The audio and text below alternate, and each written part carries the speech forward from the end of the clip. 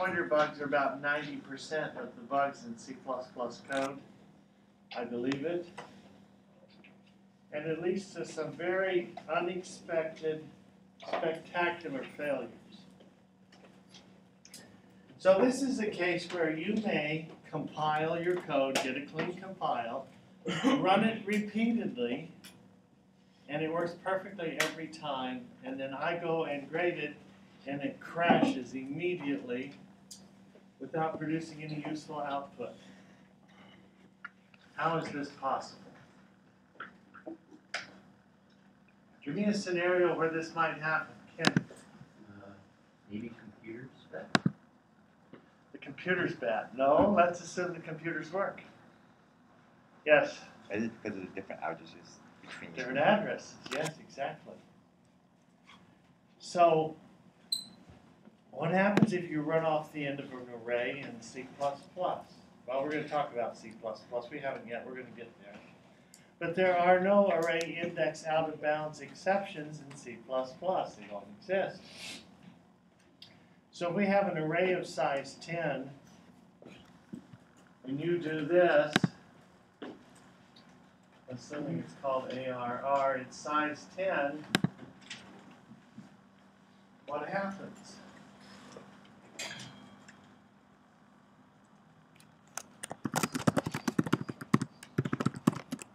What happens if we do this assignment state, uh, statement with an array of size 10? It tries to add or send,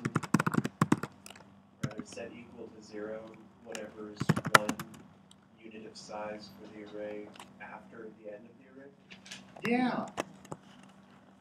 So off the end of the array, that next chunk of memory, you zero it out. Now, as long as that memory belongs to you, and it probably does, as long as it belongs to you, then it will work. When I say work, the assignment statement does not cause the program to crash and burn. There is no array index out of bounds exception. Rather, the assignment just goes ahead. So what would be the consequences of that? Well, you zeroed out something, but you don't know what it is. You don't know what it is. And if it's allocated on the heap and arrays are, there is no relationship between the location and memory and how you have declared variables. So inside a method, when you declare variables, i.e. int x, y, z, the way it works is z gets allocated first, then y, then x, and they're on the stack and they're in order and they're right next to each other. That's just how it works. But arrays create two things, one thing on the stack and a very different thing on the heap. What are the two things allocated when we create an array? In Java, let's say. You have a reference to the array, and then you have the array. You have two things, and they're different. So if we draw a picture here, we have the stack, and here we have ARR, and it holds an address. And over here we have the heap, and here on the heap, we have an array of size 10. That's where the array is. So this assignment statement, we'll put a zero right there. Well, who knows what's there?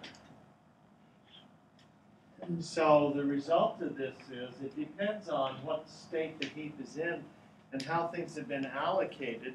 But you may run this a hundred times with no problems, and the hundred and first time you crash and burn. So obviously that's a problem, but it's far more insidious than that because it's not reproducible. This is a particularly nasty bug because you can't know what's going to happen. So you can't rely on testing to make sure that your code is error-free. You may test it and have no issues. And then I test it and it falls apart. It's Murphy's Law, I guess. That seems to apply here. So it depends on what you zeroed out. I had this case years ago. I had students in 320 and they had written a plus plus program in my class. And a student came to see me and he says, I cannot for the life of me figure this out. He had a for loop and it hung in an infinite loop. And I'm looking, it's like for i equals zero. i less than 100, i plus plus. But it never stopped. it's like, why? This makes no sense at all. So I looked at it and I agreed and we tested it and in fact,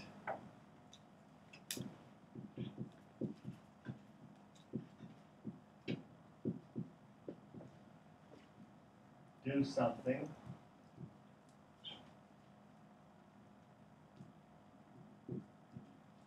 That's what the loop looked like.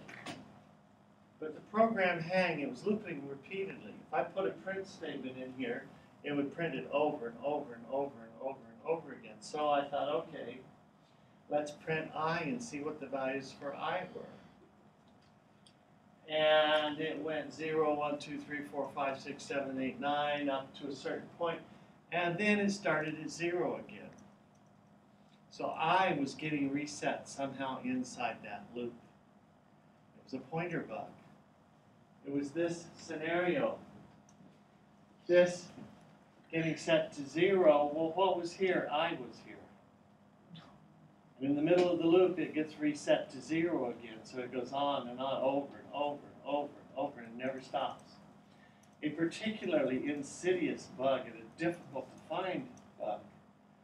So that is one of the problems that we have here with references and pointers is that we can get these unexpected side effects that occur and they're extremely difficult to reproduce and extremely difficult to track down. So doing things that are safe from the get-go is always a good idea. All right.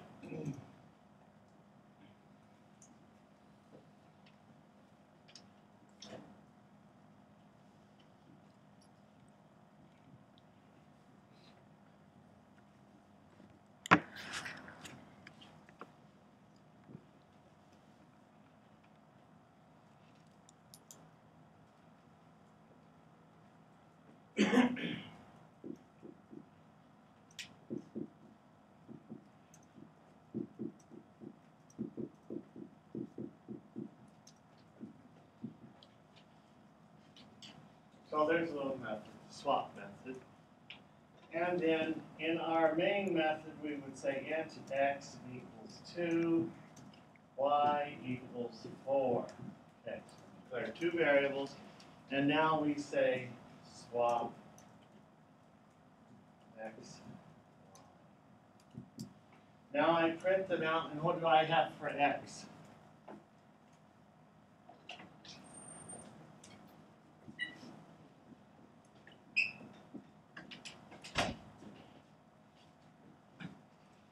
I print x, system out print line, abbreviation. What prints?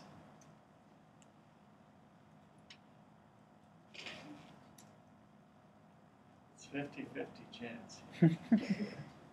What do you think? What is the value of x here after the swap? Two. The value of x is two. What does the swap do? Nothing. It does nothing. Mm-hmm. Mm-hmm. It doesn't do anything. Does everybody see this?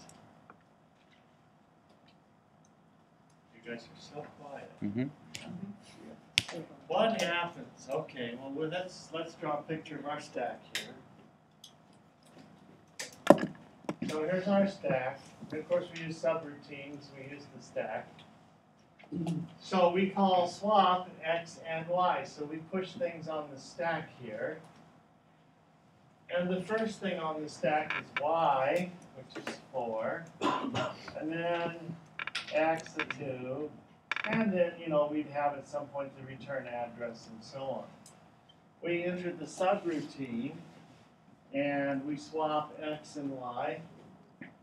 And so we have Now instead of two and four, we have four and two. So far, so good? And then we hit the close bracket, we exit the subroutine, and the stack is popped. It's now empty. What did it do to X and Y? And the answer is absolutely nothing. Absolutely nothing. So this doesn't do anything. How do we fix it? Yes? You can send pointers to it as uh, reference.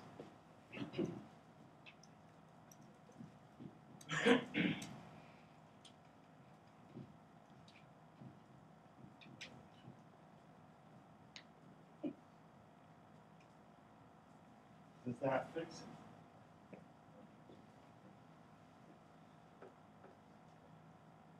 Does that fix it?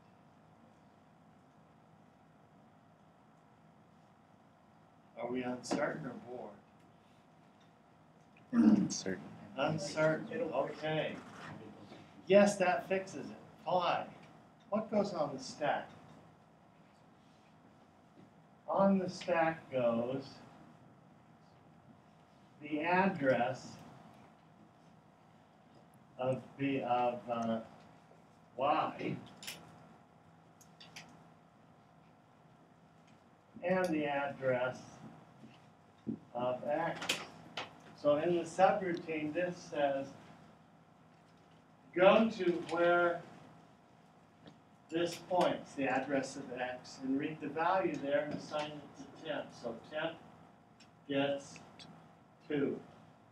A gets B. Right, but what's getting swapped here?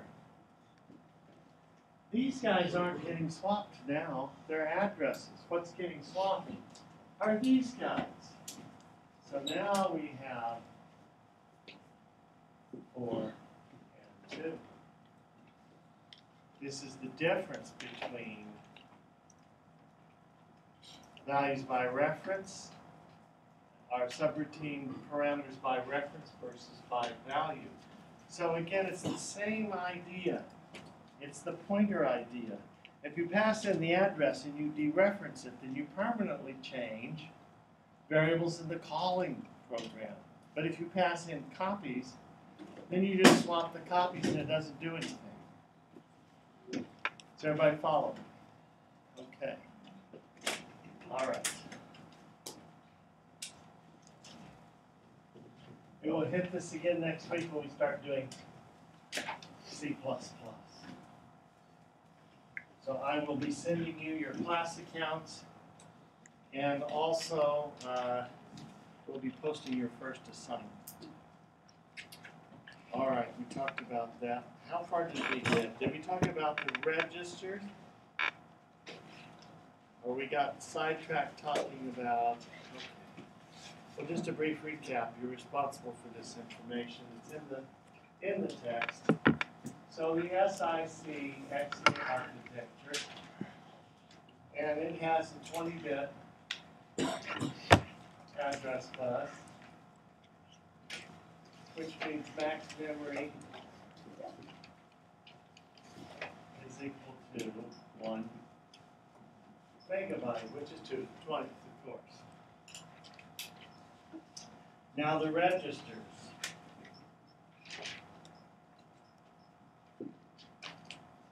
We have B, S, T, three, four, five. And there's a floating point register, which we're just gonna go ahead and forget about.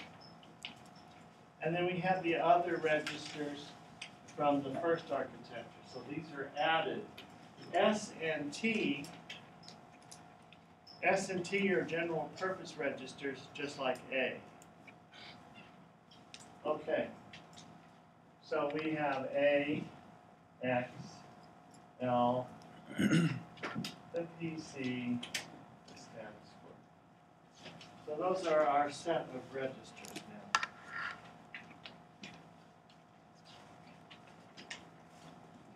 now. All right, so the B register is the base register.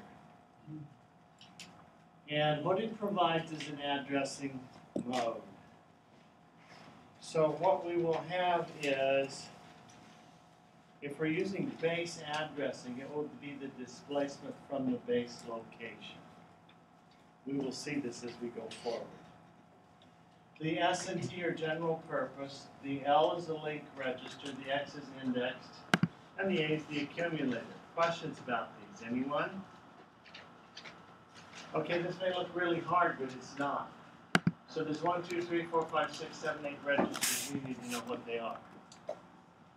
Okay, so. Instruction formats, there are four of these. Yes, there's detail here, we're gonna spend a lot of time on this this semester, so the, invest the time now to become- familiar with it. So there's format one. And that is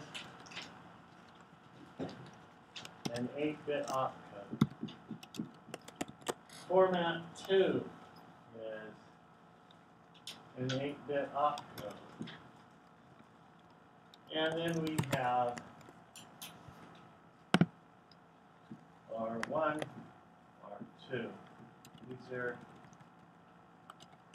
four bits each. So this is sixteen bits total.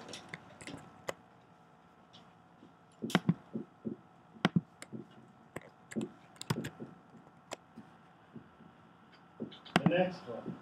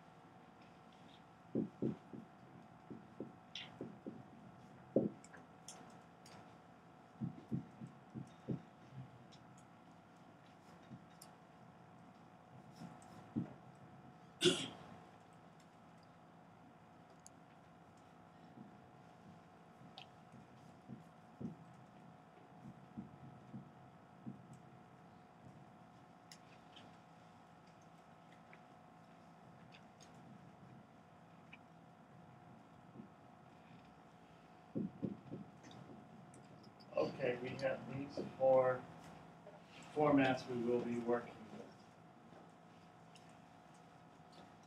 with. Okay, so one is obvious, it's just the opcode. There are some opcodes that have no operands. So I've got my little sheet here, let me see if I can find one. So there's a bunch of them, well, not a bunch, but there's some here. An example of this would be.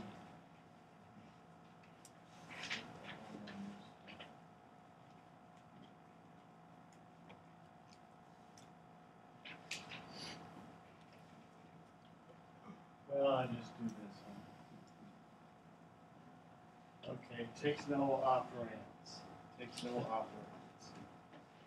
Number two is register to register, so we would have something like add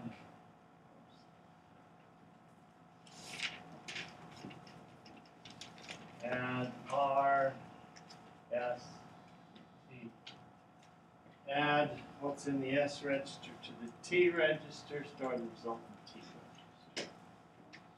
Number three, well, this is a memory reference. So we would do something like add alpha where alpha is a memory reference, it's a label. Okay, so one of the issues to talk about here, how do we encode a structure like add alpha? So what this says is, go to the memory location alpha, and starting at the memory location alpha, read three bytes, one word, and add it to the A register. So the contents of alpha go there, take the word size contents of alpha, and add it to register A, the accumulator. And of course, the A is hard coded. If you look, you guys all brought your sheet, right? So the mnemonic is add M, add space some memory location.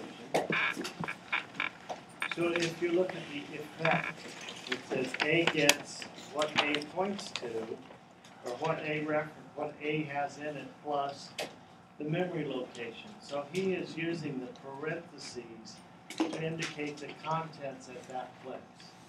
The contents of A are added to m dot dot m plus two. So that's three bytes, m, m plus one, m plus two. That's three bytes, one word is added to the accumulator.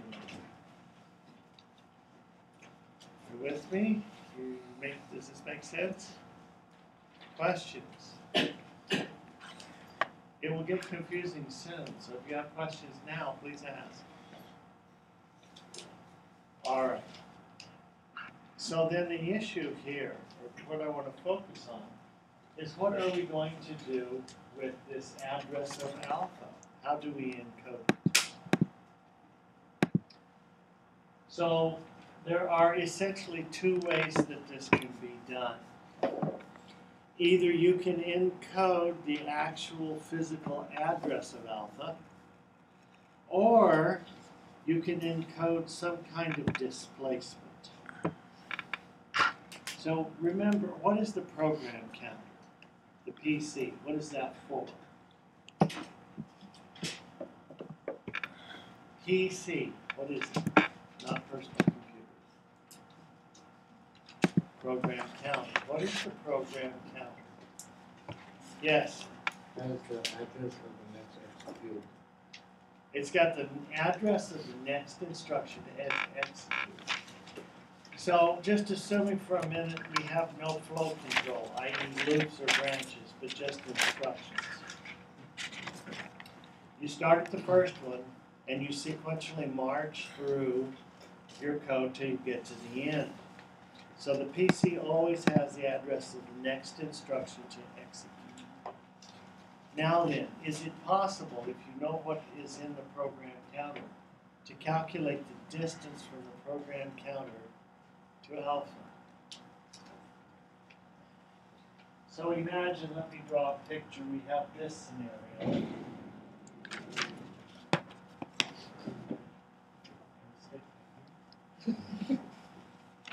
Okay, we have this Here's our program in memory. And this is alpha, this memory location. And the PC is right here. We can look in the register, we can see the PC. Is it possible to know precisely how many bytes there are from here to here? Possible? You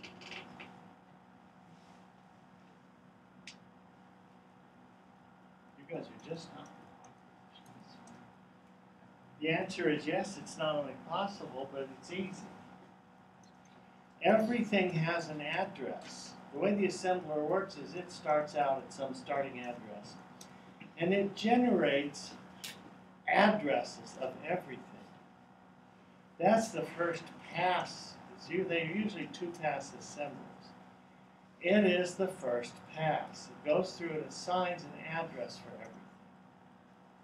So if the addresses are known,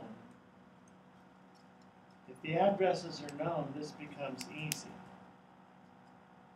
This becomes easy. You can say alpha is n bytes away from where we're at right now. So this is PC relative mode, and there is a displacement that is encoded. So it will be something like, we will add the contents of memory n bytes from where we're at right now. It's either that or the hard-coded address, which is more difficult. All right. So this seems kind of shaky to you guys, and I get that. I want to do an exercise, and maybe this will help. Some of the topics in this exercise we haven't gotten to yet, but we will directly. So we're going to do an exercise. We're going to assemble some code.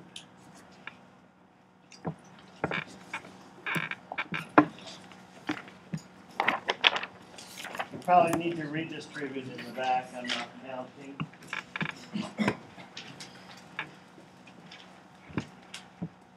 Should be enough of these.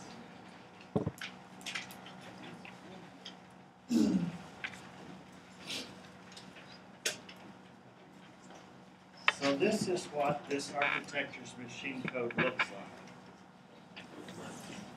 like. Okay. So we have the line number, we have the address, have a label if it exists, then the opcode, which is the instruction, and the operand, what it operates on. So, everybody have one? Yes? Okay.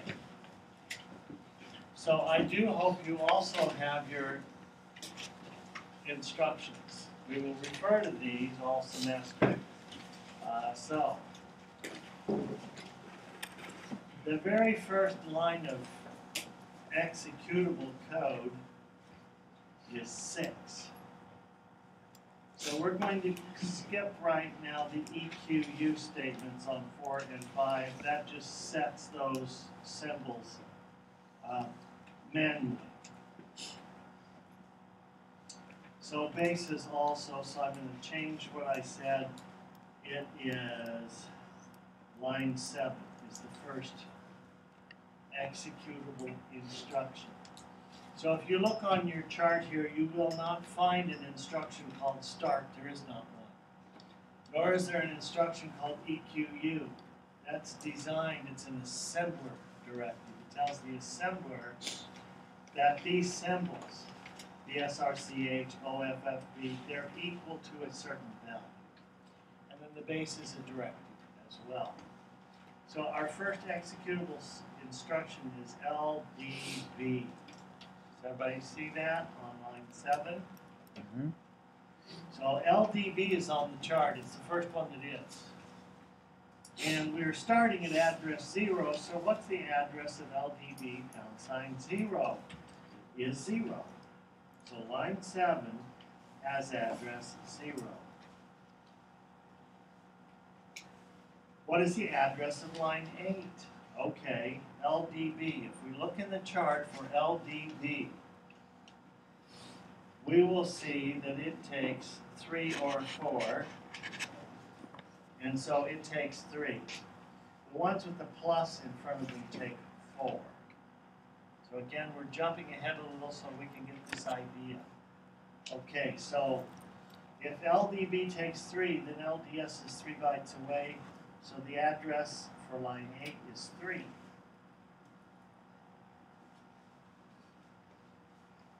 And then the address of line nine, we have LDS, and LDS is also a three four, so it's six.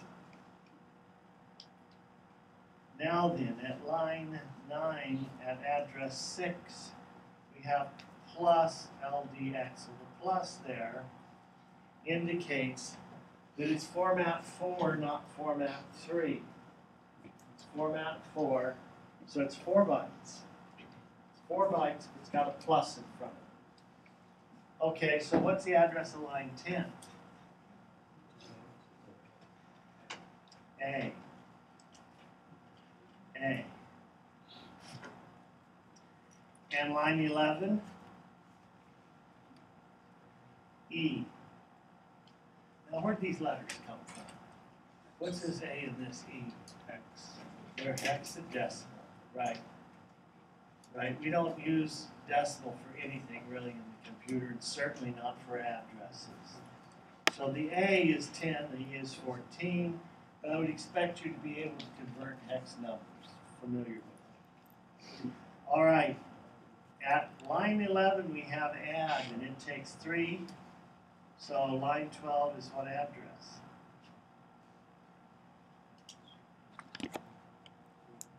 One, one.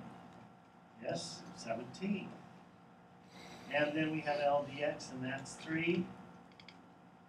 One, four. You see this? Okay, so if we're ready to execute the plus LDT instruction on line thirteen, then the PC has zero zero zero one four in it. But if we go this way, pretty soon we're gonna get to alpha, so let's keep going.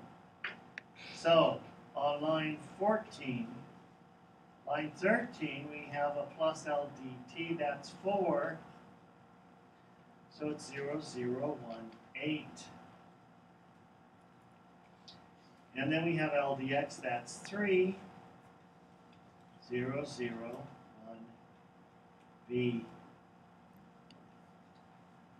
And at sixteen, it is one B plus three. Which is what?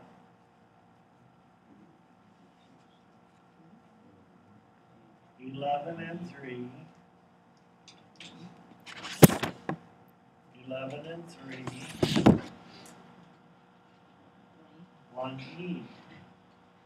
And at one E, we have add, which is three. So we have zero, zero, what? Two, one. And then we have four plus JLT, zero, zero, two, five.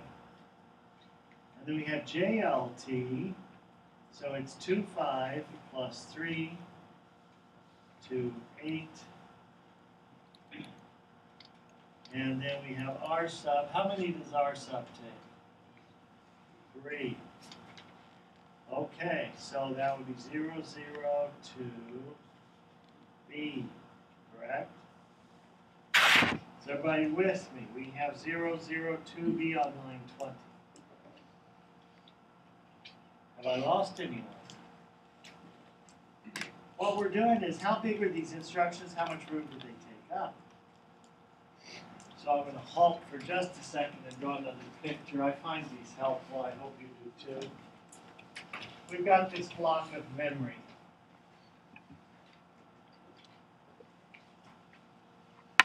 And this starts at address zero. So the very first thing we have is this LDB. LDB pound sign delta.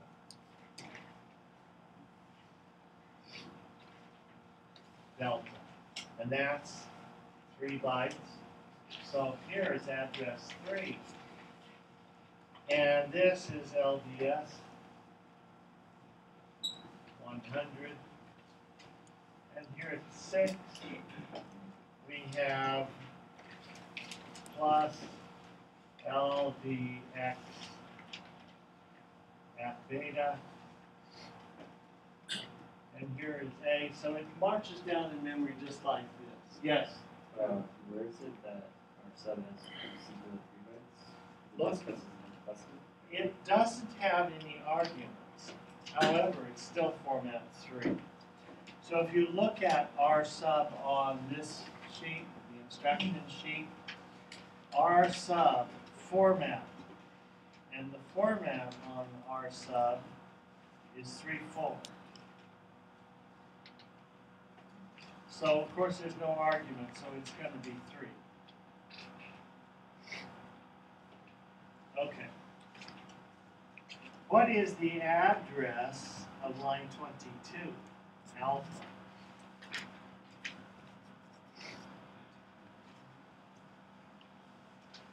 What's the address of alpha? Two B. No executable instructions here, so it's 2B. Okay, can we, so let's assume, I don't know, I'm just going to pick one. Let's say we're on, I don't know, line 14. Let's just say we're on line 14. That's what we're going to execute next. So the PC has 0018.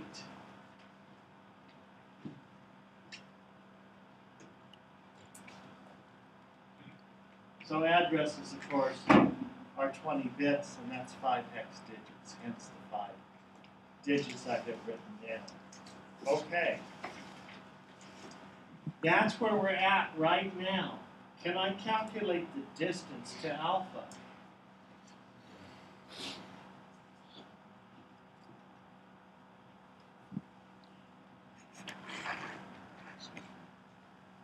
Yes? Eleven minus eight? So, alpha is nineteen bytes away. Does everybody see this? One, three, of course, is sixteen plus three, it's hexadecimal. So alpha is nineteen bytes away, assuming that we're on, that we're ready for line fourteen. Does everybody see this? Okay? Alright, so you have two choices. You can either encode one, three, or you can encode the full address of alpha, zero, zero, zero, two B. Well, addresses are twenty bits, and if any of the combinations are possible, you have to use that space. So, it's wasteful to hard code the full address. It's wasteful because it takes more space than you really need. It's pretty easy to say, from where we're at right now, go forwards nineteen bytes and read the contents of memory at that location. So every line of code here, if we continued on, would have an address. Every line of code would have an address. Every instruction, every storage allocation directive, everything here has an address. What that means then is we have positional relationship between entries. Now, some of you look like I've lost you. Have I lost you? Good. Okay, suppose we have x and. Now I want to set y to 2. Can I do it using x?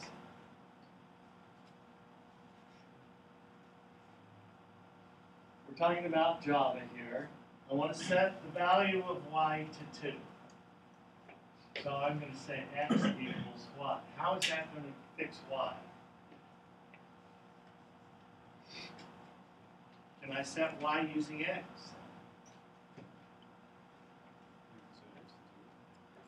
I could set x to 2, but I want to set y. I don't want to set x. Is there a way I can set y using x?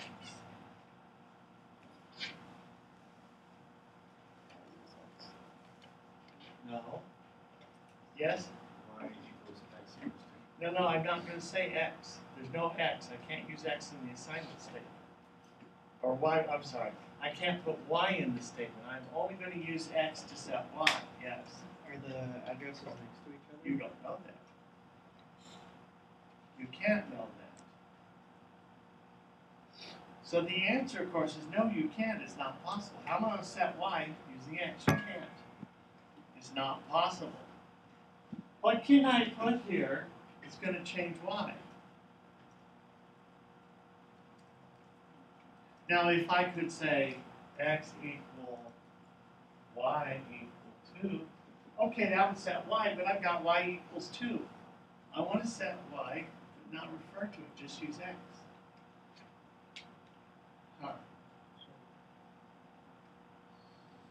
Okay, so this is a bad example, this one we're looking at here, but assume that we have another sheet with alpha and beta. Suppose I have this arrangement. Alpha. And alpha is a word. And let's say it has two in it.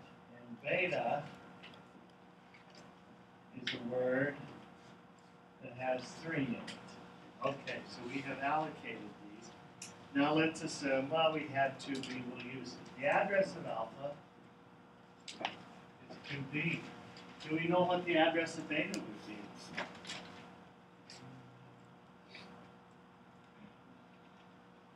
Yes, a word is three bytes. We know how big it is. So 11 and 3.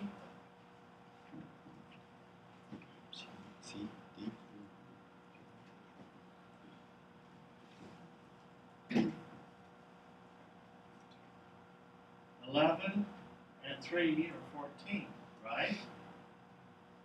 So am I with me? Okay, can I change beta using alpha? Yes, I can change alpha plus three, and what is that? That's beta. That's beta. So we look at the memory map here.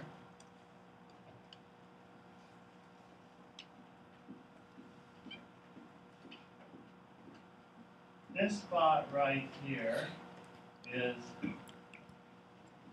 2b, and this is alpha. Alpha plus 1 plus 2, alpha plus 3. 2e beta. Alpha plus 3, go there and put whatever you want. Can we change beta using alpha? We can. In assembler, we can't. Well, why? Alpha and beta are variables. X and Y in the Java example, those are variables. Where are they? You don't know where they are. You don't know. Variables will get you three things. What is it? An integer, a string, a float. What is it? Where is it? And what size is it? Those are properties of variables. I say int x. Okay, what is it? It's an integer. Where is it? Well, we don't know and we don't care, but the machine knows. The compiler knows. How big is it? It's 32 bits in size. Well, in the assembler realm, you have to handle all those things yourself. What we have are labels, which are nothing more than addresses, and that's all they are. Therefore, you can use one address to get to anything else you want to. It's fairly common with assembly language programs to have a storage allocation section where you allocate labels. And again, this should not seem unfamiliar to you guys that have had 237 or the CompE equivalent. You can allocate storage for user-defined data.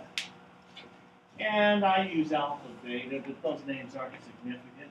But what a lot of people do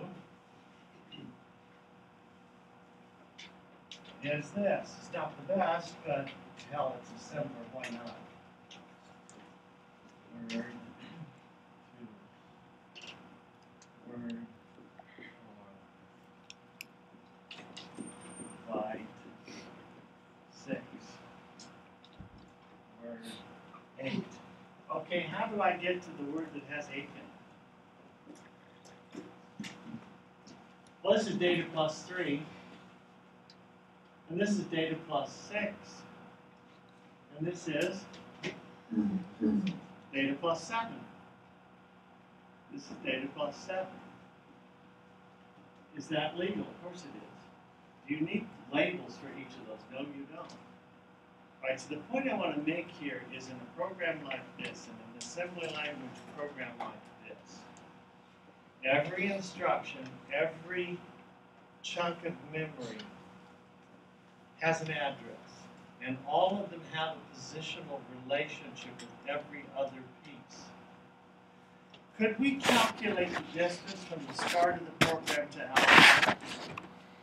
Well, since the program started at zero, we already got it. It's 2b away from the start of the program. You follow me? So the big picture idea here we want to get is that if we hard code the physical address of alpha, it's wasteful. But if instead I can find a way to encode the distance from a fixed or known point, that's cheaper. So for format 3, we will never encode the actual address because there aren't enough bits there. There are 12 bits, and that's it. There are 12 bits, not 20. Again, this saves space. There's another issue here. Most programs are relocatable. What does that mean, relocatable?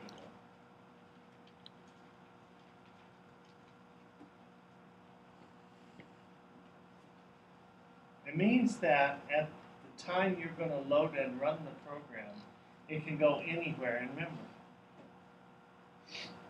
You know, if you're hard coding an address, what are the chances you're going to get it?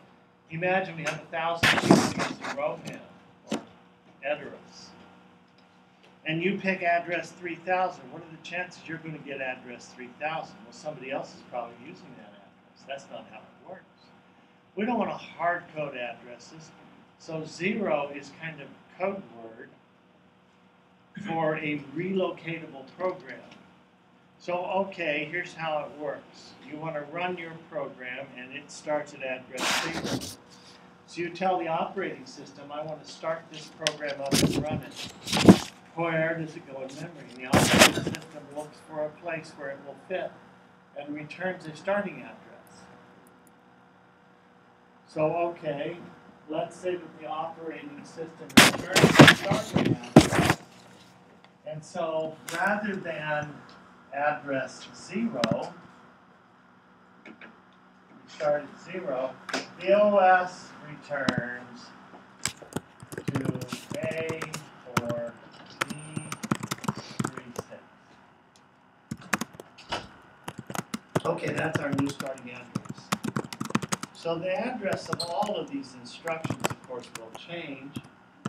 And that's not a problem if nothing in them has to be changed. So, let's take an, an instruction like this.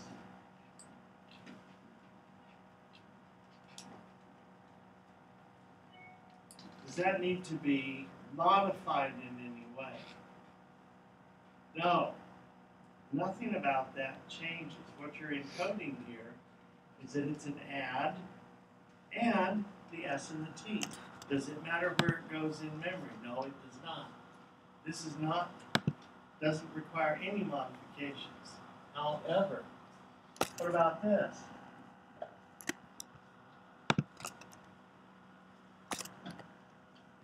Oh dear, it's not a 2B anymore. It's not a 2B. Where is it? well, 11 and 6. 11 and 6. And 17, 1, carry 1, 6. That's where alpha is. So you can't. Actually, yeah, if this is your starting address, this is where alpha is. Okay, so what you'll have to do is every memory reference must be changed in the entire program. So if you have a lot of memory locations, and in fact most of the instructions have memory references, if that's the case, then when you load the program, you're going to have to fix these addresses somehow. There are different ways that this is done. One of them is having the linker loader go through as you're loading the program and change every single memory. So if you have a large program and you have thousands of memory references, you'll have thousands of modifications to the executable, the simple code that you'll have to make. The other way this is done is with the memory management unit. There's a chip in some systems, and it intercepts every request for memory and adds to it to get the actual runtime address where it happens to be in memory. So those are the two most commonly used methods. But imagine that we have thousands of lines of code and thousands of memory references, but all of them use displacements instead of actual addresses.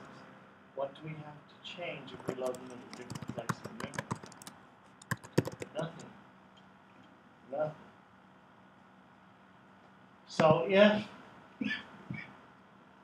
a given location is n bytes away from another part of the program, it's always that distance. So we were using line 14 as an example, and the distance between 1, 8 and 2b doesn't change if we change the actual location. The displacement remains constant. Follow me? Because there's a positional relationship between everything in the program. So this is an important mode, and that's what these flags are. So there are two offset related addressing modes. And the one I've been talking about is P, PC relative. So you use a one in this field and it says use what's encoded in the instruction as the distance from the program counter to the memory you want to read. The other one is the base. And the way this works is you load an address into the base register, and then the displacement or offset is from the address in the base register. So the reason this becomes important, imagine this scenario.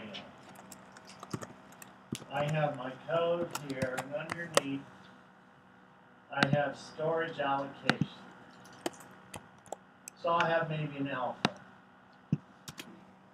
And here I have 1,000 bytes. And I have beta. And I have 4,000 bytes.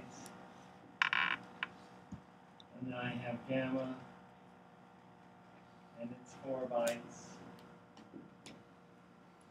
And then I have delta, delta, and it's 1 byte.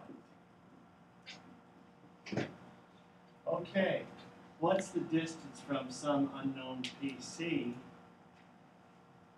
to delta? Well, what's the distance right here? This is 5,004 bytes. Okay, is that going to work? We have 12 bits for the displacement and it can be forward or backward.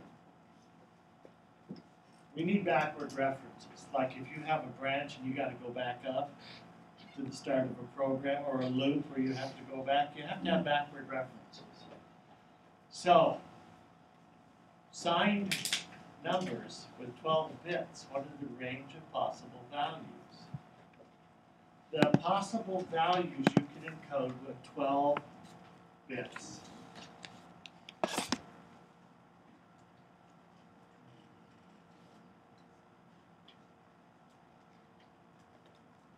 bothers me you guys are so quiet.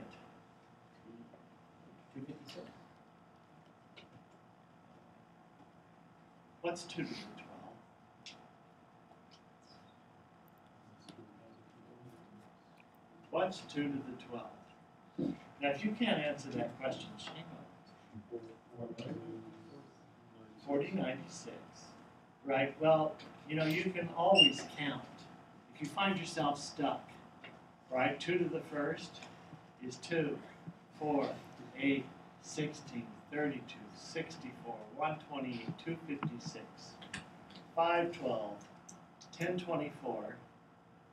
Okay, can you multiply ten twenty-four times two? Twenty forty-eight, forty ninety-six. Can, I mean, this is not rocket science. Two to the twelfth is forty ninety-six, but if half the numbers are negative and half are positive, what are the range of possible values?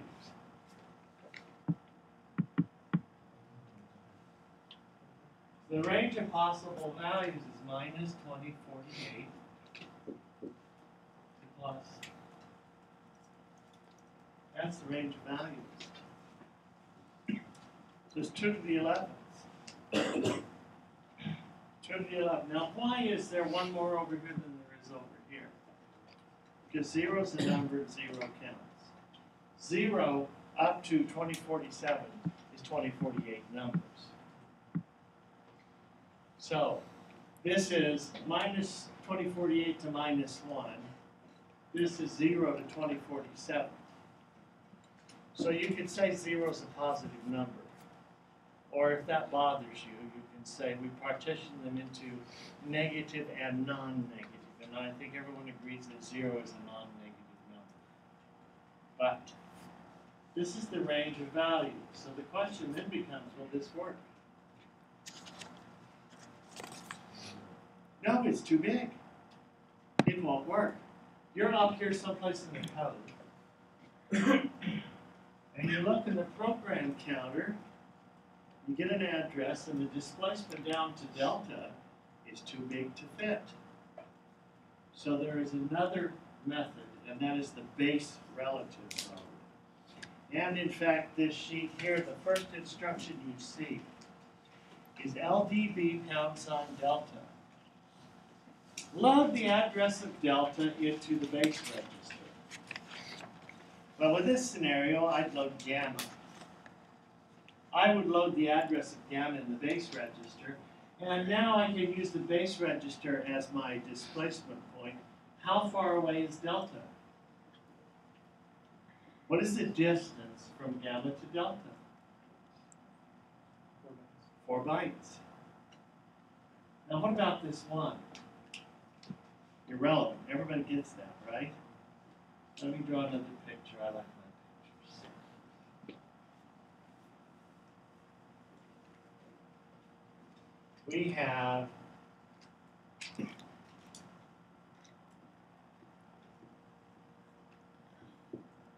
gamma.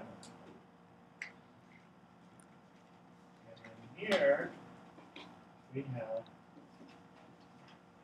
delta.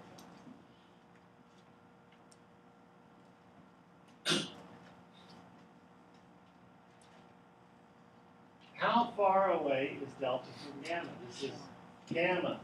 Gamma plus 1, gamma plus 2, gamma plus 3. This is gamma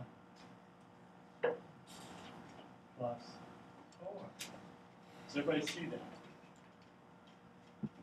Okay, if I use the base mode then, in those 12 bits I can put 4, which will certainly fit. So there are two ways to get around the problem of storing the hard-coded. One is to use the program counter, where we're at right now, to where we want to read how far is it. And the other is to set a fixed reference point and put it in the base register. Questions? So, if you have not read through chapter one in the text carefully, you really should do that over the weekend here. It's tough going. Dense. There's like three words that are super important, carry lots. Of, I mean, every bit of it needs to be there. Right? The department chairman wrote that book, and he's a brilliant guy. But he's big on precision. Few words with absolute precision, and every single sentence in that is important. So go through it and read it carefully. I know it's dense and it's hard to follow, but keep at it. You will have to do it if you want to make it through this class. There's some good news here. Once you get your arms around it, it's not so bad. It's pretty obvious and easy, but it also gives you deep insight of what's going on inside the computer system. And that's really what we're after here. These concepts, many of them, you've brushed on them before and you've never really taken deep looks. Now we're taking a deep look at what happens inside the machine at lower levels when we are starting up and running programs. So that's the goal. If it seems overwhelming a little bit, I'm not shocked or surprised. I know that. When I first started on this, I felt that way too. I remember the first time they asked me to teach this course, and I read through that book, and I'm thinking, oh my goodness, uh, this is going to be difficult. And then I read it again. Huh. And I read it again, and I said, ah, okay. Okay, I see. And we just need to hang on till we get to the okay, I see moments. I mean, computer science is all about that. I remember years ago, I have to tell you a story on myself. I was taking 560, and I had Professor Baase, who wrote one of the texts that's coming. 560. She's still a very dear friend of mine. Uh, and I said, you know, Sarah, I read this very carefully and it didn't make any sense to me. And I read it again, it still didn't make any sense to me. And I probably read that five or six times before I began to even start to get it. And I must have gone through that ten times before it really made any sense. What is wrong with me? You know, am I doing this wrong? What's the deal? She said, Alan, we all do that. Said, that's how it works. That's how you learn. This is technical, complex material. And you go through it, and you don't get it, you go through it again, and you don't get it. You go through it again, and you go, okay, I got a little piece. And you go through it again, and you get more. And you just keep at it until you get it. That's the process. This woman has a PhD from Berkeley. She's brilliant. And she told me that's what she does. So then I felt. So if it feels, feels like it's really overwhelming, trust me, this is not 560. It is not 560. This is accessible, but it takes a little effort. So we will continue talking about this material going forward. And again, this is an integral part, this architecture is an integral part of what we will be doing this semester. And I will ask you to do hand translations. So we did one part, we put the addresses down. We're going to come back and hand code each of those instructions, and you're going to have that on a test. So you will have to get your arms around how this works, not understand it some general way, but own it. I've got another handout to give you, and I want to talk a little bit about it, I want you to study it over the weekend, and we will revisit on Monday. These are allowed addressing. Remember what addressing modes are. How do you get to it? Well, there are more addressing modes in C and C++ than there are in Java. They've eliminated those to make the language simpler. Um, but we want the power of a language like C++. With that comes a little more complexity. So these are the various addressing modes, and I'm going to run through them just quickly. I want you to be able to explain them, understand what's going on.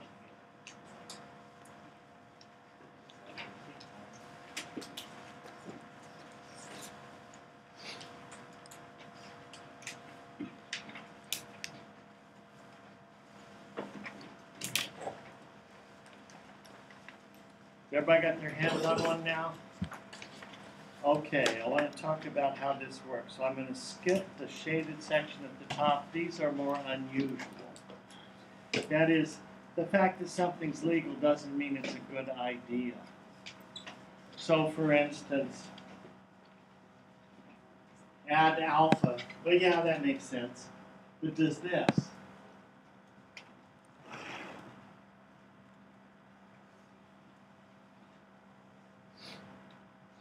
Is it? Not really. It's legal.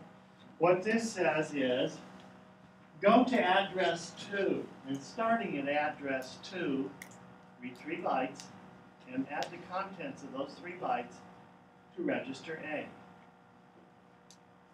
Well, what's in memory at address 2? Well, who knows? Right? So that's almost certainly an error, but it's legal. So the grayed out section are things that are legal but questionable. The white section, the white background, these are the part and, par- part and parcel of what you need to know. So running down the first one, LDA alpha. Notice there's two LDA alphas. The first one is base mode, and the second one is PC relative mode. Those are the modes. So it means dereferenced.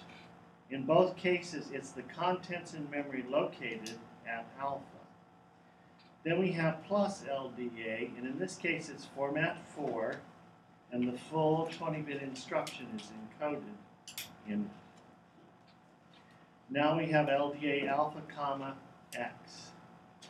So this mode is go to the address alpha plus whatever's in the X register, go there and read the contents of memory.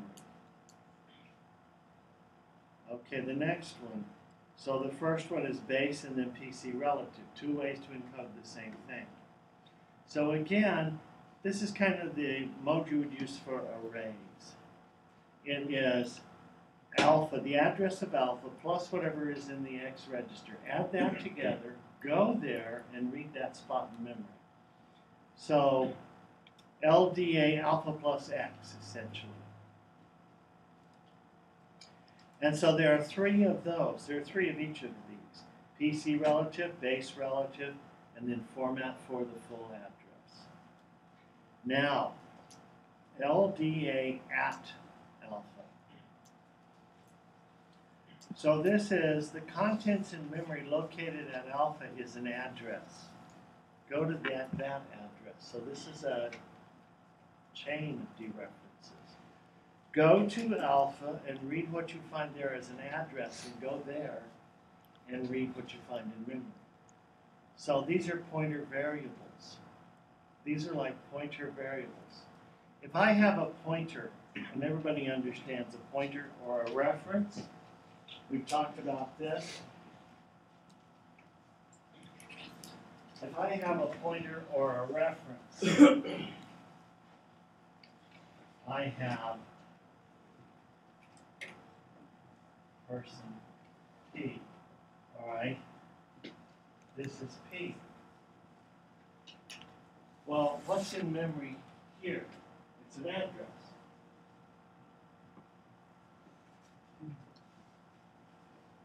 Okay, it matches, mimics this scenario.